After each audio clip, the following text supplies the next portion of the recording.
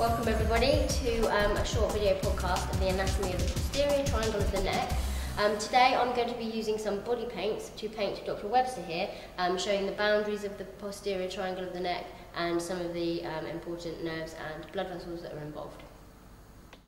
Okie dokie, so today we're going to be starting with the boundaries of the posterior triangle of the neck. So the anterior boundary is um, a big chunk of muscle that we see, it's called the sternocleidomastoid, okay? Now it's got two heads and one is on the sternum and one is on the clavicle, okay? And they both come up and insert on the mastoid process of the temporal bone. So if Dr. Webster here, we can see this boundary. Has that come off? Yeah, I think come all the way up here. It's quite a big muscle.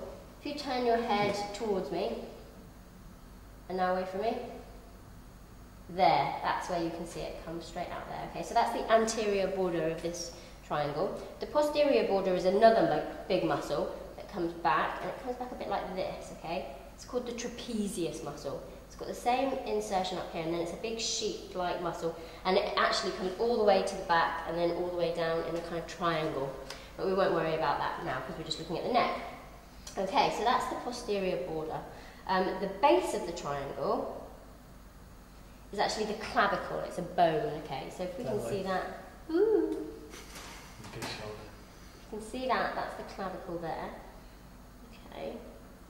So this now, the trapezius, we can draw the rest of it, so it's coming down there, okay? Clavicle comes along there. Brilliant. So this is the posterior triangle of the neck. Right, now the posterior triangle of the neck does divide. A muscle that comes from the hyoid to the scapula comes through and divides this triangle into two. Okay, so the muscle is called the omohyoid. It's the inferior belly of the omohyoid that we can see in the posterior triangle. Um, and it divides this triangle into two triangles. The occipital, this one here that I'm pointing at, and the sub, uh, supraclavicular, sorry, the supraclavicular triangle, sometimes called the subclavian triangle as well.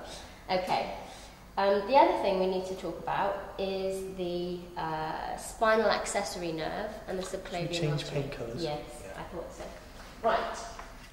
Okay, so if we look at the course of the um, spinal accessory nerve, we take it just above halfway down the sternocleidomastoid, okay, and it runs in a posterior fashion. It comes through the sternocleidomastoid and runs posteriorly in the posterior uh, triangle of the neck through and hits the trapezius, where it also innervates the trapezius muscle. So it innervates the sternocleidomastoid and the trapezius.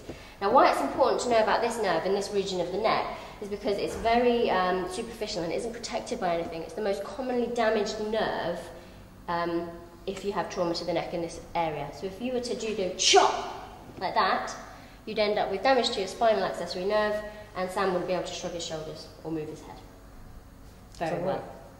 Fact. The other important um, vessel we need to talk about here is the subclavian artery, okay? Because the subclavian artery comes up just at the base of the supraclavicular triangle, okay? So it comes up just here, and it's actually the third part of the subclavian triangle that we're interested in that's involved in this triangle, okay?